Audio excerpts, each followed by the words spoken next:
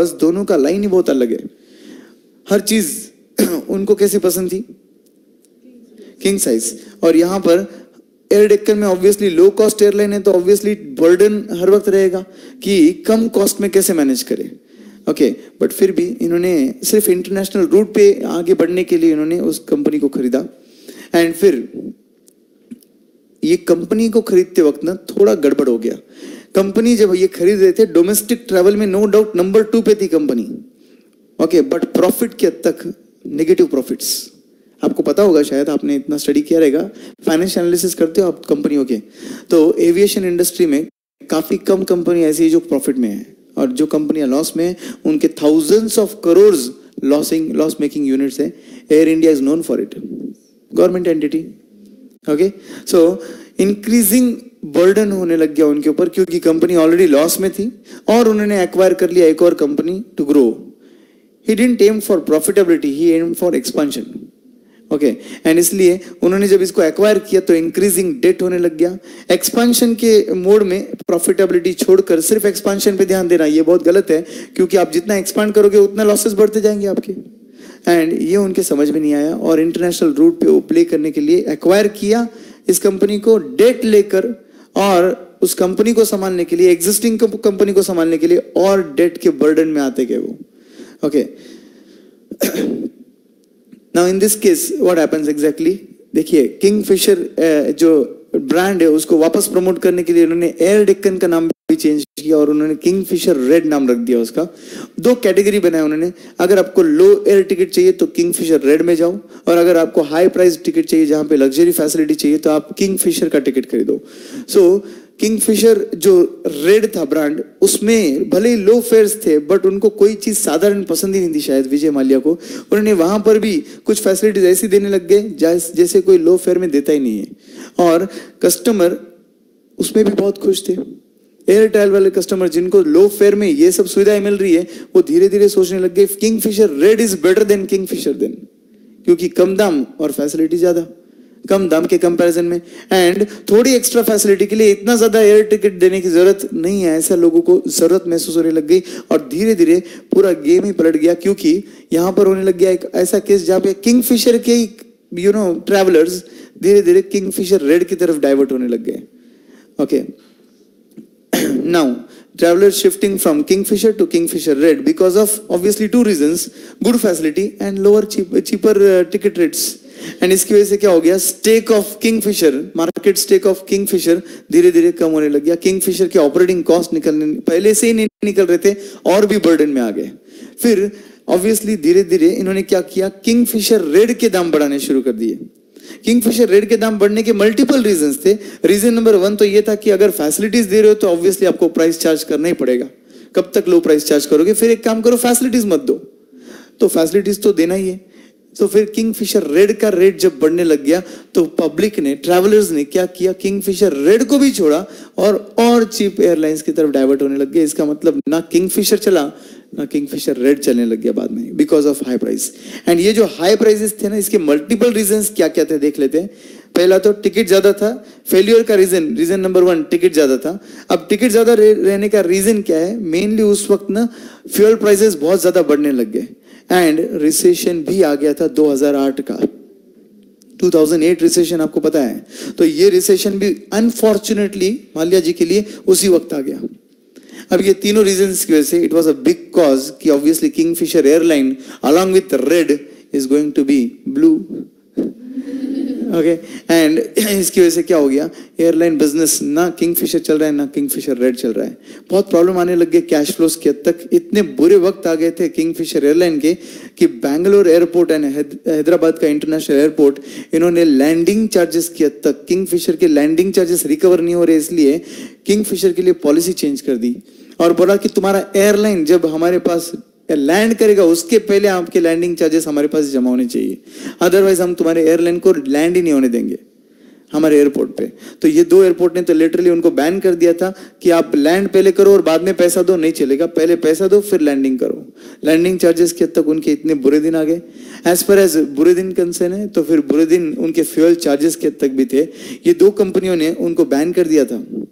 उनको बोला था we won't supply any fuel to you because your outstanding dues are so much and company की policies जो आप डिलेड पेमेंट करते हो, ये हमको चलता नहीं है. फिर तीसरी कंपनी थी, जो इंडियन ऑयल कंपनी थी, जो इन्होंने बोला कि आपको फ्यूल मिलेगा, मगर कैश बेसिस पे मिलेगा। कैश बेसिस एयरलाइन में ऐसा बिज़नेस होता है कैश बेसिस ऐसा लॉजिक होता है कि आपके एयरलाइन में फ्यूल भरने के पहले कैश चाहिए। तुरंत भरने के बाद नहीं, भरने के पहले आप कैश डिपॉजिट करो तो आपका फ्यूल फिलिंग स्टार्ट होगा अदरवाइज़ आपका फ्यूल फिलिंग स्टार्ट नहीं होगा। तो क्योंकि कैश फ्लोज पूरे प्रॉब्लम में आ चुके थे, ये कंपनियाँ उनको क्रेडिटेबिलिटी के लिए तक डाउटफुल क्या श्योर थे कि ये पैसा नहीं आएगा। इतने बुरे दिन एयरलाइंस के आने के बाद बिज़नेस मैनेज करना बहुत मुश्किल हो चुका था। तो विजय माल्या ने सोचा, क्यों ना बहुत बड़ा पैसा बिज़नेस में लाया जाए और एफडीआई के लिए ट्राई करने लग गए वो। बहुत मुश्किल से उन्होंने एहतियात कंपनी को कन्विंस किया कि वो किंगफिशर एयरलाइन में इन्वेस्ट करे। एहतियात कंपनी वॉज़ कन्विंस्ड कि yes we are ready to invest but उस टाइम पर सिविल एविएशन इंडस्ट्री इंडिया की हद तक it was not allowed that foreign company is going to invest in Indian airlines airline business was hundred percent domestically owned business that time और foreign direct investment उस business में allowed नहीं था unfortunately फिर इन्होंने गवर्नमेंट को भी बहुत कन्विंस किया कि आपकी पॉलिसी चेंज करो, क्योंकि मेरी एयरलाइन प्रॉब्लम में है बट गवर्नमेंट ने उनकी सुनी नहीं। गवर्नमेंट ने बोला, आप एप्लीकेशन दे दो, हम कंसिडर कर लेंगे. बट गवर्नमेंट का रेड टेपिज्म डिलेड जो होता है हर वक्त कोई भी चीज़ में तो उस हद तक वो बहुत परेशान हो गए थे और गवर्नमेंट से कोई अप्रूवल नहीं मिलने लग गया उस वक्त। एंड एहतियात का यह ऑफ़र उनके हाथ से धीरे धीरे जाने लग गया, क्योंकि उसके पहले ही और वर्स्ट चीज़ें होने लग गई। पैसा ना रहने के कारण एम्प्लॉयज़ की सैलरी नहीं हुई और एम्प्लॉय का ये जो एक अच्छा वक्त था, उनके साथ वो शायद बुरे वक्त में कन्वर्ट हो गया था। and employees were leaving the job because after several months of strike still they were left with no salary in their account. Only guarantee that we are going to pay we are going to pay. And airline ka business continue rakho continue we are going to pay. Employees were suffering so much. Okay pallets se air hostess everybody वो suffering so much कि उन्होंने सोचा कि विजय माल्या शायद problem में इसलिए कुछ महीने उन्होंने एडजस्ट भी किया। बट उसके बाद जब वो खुद इतने प्रॉब्लम में थे एम्प्लॉय लोग तब विजय माल्या कुछ और ही चीज़ में बिज़ी थे। ओके okay, क्योंकि उस वक्त Vijay Mallya was taking audition of models for their calendar Kingfisher calendar बनता है आपको पता है। तो उनका ऑडिशंस लेने में बिज़ी थे और इतने बिज़ी शेड्यूल में फिर कहाँ से मैनेज होगा ये सब? एंड फिर जो एम्प्लॉयज़ थे, उन्होंने सोचा कि हमारे इतने बुरे दिन चल रहे और हमारा ओनर कंपनी का ओनर ये मॉडल्स का इंटरव्यू ये ऑडिशन ले रहा है। And somehow they it was not digestible for them कि ये बैड फेस बोलते हैं और ये कैलेंडर भी लॉन्च कर रहे हैं। कैलेंडर लॉन्चिंग का कॉस्ट कम नहीं होता है। तो इसलिए उन्होंने सोचा कि बेटर रहेगा, हम स्ट्राइक नहीं करें, अब हम लोग जॉब ही छोड़ छोड़ दे। सबने जॉब छोड़ा, उसके बाद किंगफिशर एयरलाइन बंद हो चुका था। दिसंबर 2012 में गवर्नमेंट ने किंगफिशर एयरलाइन का लाइसेंस भी रद्द कर दिया था कैंसिल कर दिया था।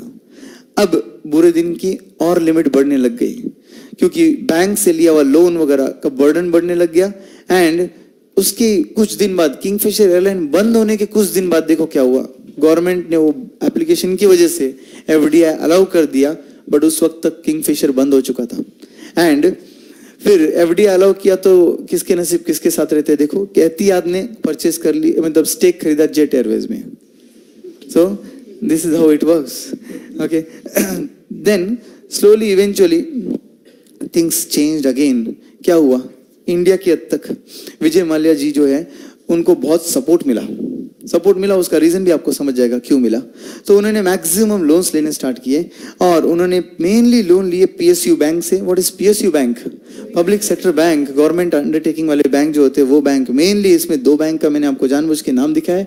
स्टेट बैंक ऑफ़ इंडिया जिन्होंने किंगफिशर को सबसे ज़्यादा लोन दिया था। अप्रोक्सीमेटली सोलह 1600 करोड़ रुपए का लोन था, सिर्फ़ स्टेट बैंक ऑफ़ इंडिया का। एंड आईडीबीआई बैंक इसका तो रीजन ही कुछ और है, आपको बाद में समझेगा।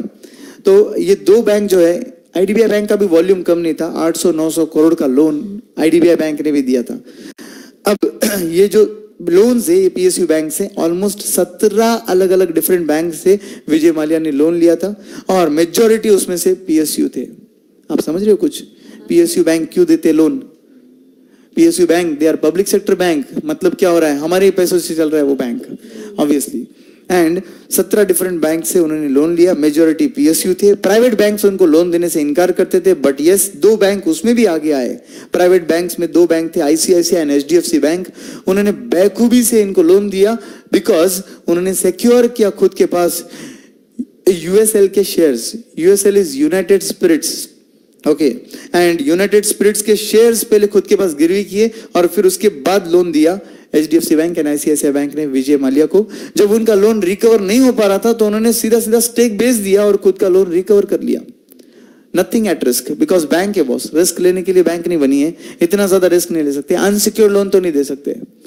एंड फिर डेट रिस्ट्रक्चरिंग के अंदर ये लोगों ने अप्लाई किया कि हमारी कंपनी बहुत मुश्किल में हमारा डेट रिस्ट्रक्चर करो। तो गवर्नमेंट के कुछ स्कीम्स होते हैं जहाँ पे गवर्नमेंट डेट को रिस्ट्रक्चर करता है। तो इनके डेट को इक्विटी में कन्वर्ट किया गया। डेट को इक्विटी में कन्वर्ट किया गया। मैं आपको जानकारी देता हूँ डेट रिस्ट्रक्चरिंग में एक्चुअली होता ऐसा है कि अगर आप रीपेइंग कैपेसिटी में नहीं होते हो लोन ले लिया है बट रीपे नहीं कर पाते हो तो बैंक के बड़े बड़े ऑफिशियल्स के साथ आपकी मीटिंग होती है और आपकी हालात देखते हुए बिज़नेस के हालात देखते हुए, वो लोग आपका लोन का रेट ऑफ़ इंटरेस्ट कम करते हैं, थोड़ा टेन्योर बढ़ाते हैं और आपको कंफर्टेबल पोजीशन में लाते हैं कि आप बैंक का पैसा धीरे धीरे वापस लौटाओ इसमें बैंक का भी फ़ायदा है, जो पैसा नहीं आने वाला था एटलीस्ट वो आ रहा है। इसको रिस्ट्रक्चरिंग बोलते हैं बट इनके लिए तो रिस्ट्रक्चरिंग का मीनिंग ही कुछ और था। इन्होंने सीधा सीधा डेट को इक्विटी में कन्वर्ट किया और ताजुब की बात यह है